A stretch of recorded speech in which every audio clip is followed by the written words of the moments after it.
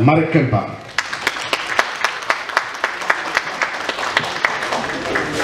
Członek zarządu e, pani dyrektor Alina Bielecka. Witamy bardzo serdecznie.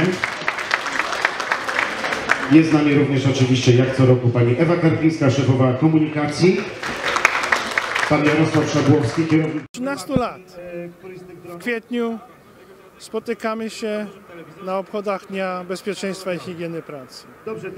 Jest ten dzień, obchodzony jest w całej korporacji, na wszystkich kontynentach, w wielu krajach przez kilkuset tysięcy pracowników naszej korporacji. Jest to bardzo ważny dzień, szczególnie dla nas, dla zakładu, który znajduje się w centrum miasta, w centrum dużego miasta, w centrum stolicy. Dbamy nie tylko o bezpieczeństwo i higienę pracy, ale dbamy również o środowisko. Te nasze wewnętrzne środowisko pracy, jak również to środowisko zewnętrzne.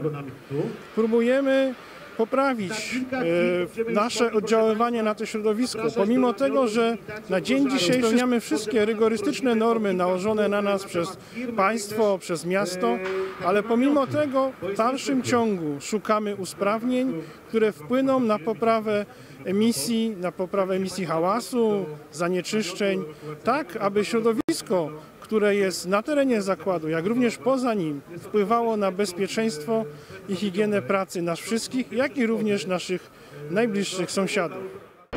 Nie byłoby takich bielań bez huty. Huta miała ogromne znaczenie miastotwórcze w naszej historii.